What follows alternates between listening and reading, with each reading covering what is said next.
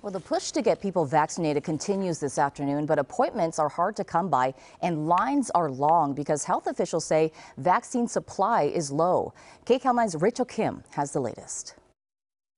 The lines were long at the forum in Inglewood, one of five LA County COVID 19 vaccination super sites. Residents 65 and over joined the group of people eligible to get the vaccine. I called right away and got right on the list. I'm really excited to be here, I'm a little nervous, gotta admit that. I'm 66 and um, don't want to have COVID, basically. But projections from the state's top health officials are bringing new urgency as LA County seniors, especially those who are high risk, scramble to get vaccinated.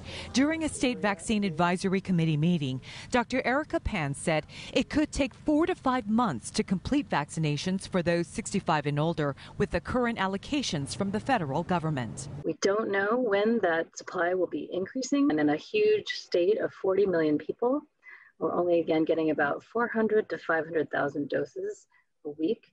So it's going to take us, um, you know, we're estimating anywhere from 20 to 22 weeks to actually get through just 65 years of age and older. Today, Keck Medicine of USC health officials said the low vaccine supply is the main concern at their distribution sites. Unfortunately, to this date, it's been a week by week process, so it's been hard to do long range planning without knowing exactly how much vaccine you're going to have, which will dictate how many schedule uh, appointments you can you can open up. Health authorities say vaccinating seniors is critical because they are disproportionately impacted by the virus. They say seniors account for 65% of all ICU admissions and 83% of all deaths. I think it's uh, very imperative, and I feel very guilty that I left my 61 year old wife at home.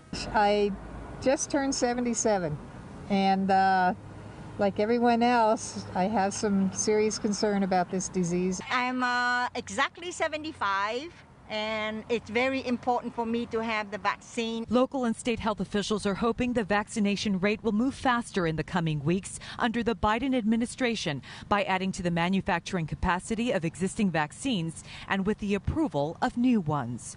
Rachel Kim, KCAL 9 News.